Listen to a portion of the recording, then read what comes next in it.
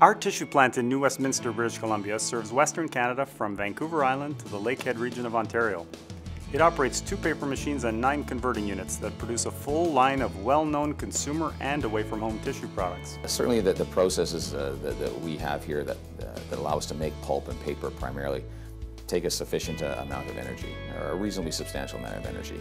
The key for us is trying to find the most environmentally uh, sound and, and financially prudent uh, source of energy to, to fuel um, um, our processes here.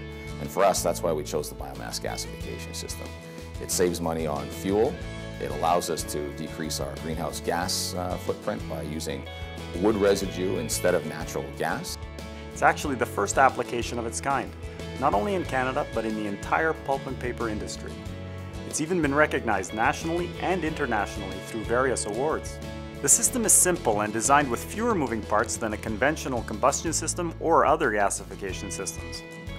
Less equipment means lower capital required, less power consumption, and lower maintenance costs.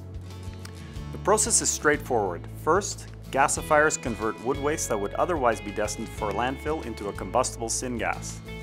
Through this, we're putting wood waste to good use in an energy supply chain. Next, the syngas is directed into an ignition chamber within the boiler, where it undergoes combustion. The syngas displaces natural gas, so it's better for the environment and reduces costs. This combustion process heats water and produces steam. The steam is used for multiple purposes around the plant, but mostly to dry the tissue web as it is being made. Technology produces more than 40,000 pounds per hour of steam and displaces approximately 450,000 gigajoules of natural gas annually.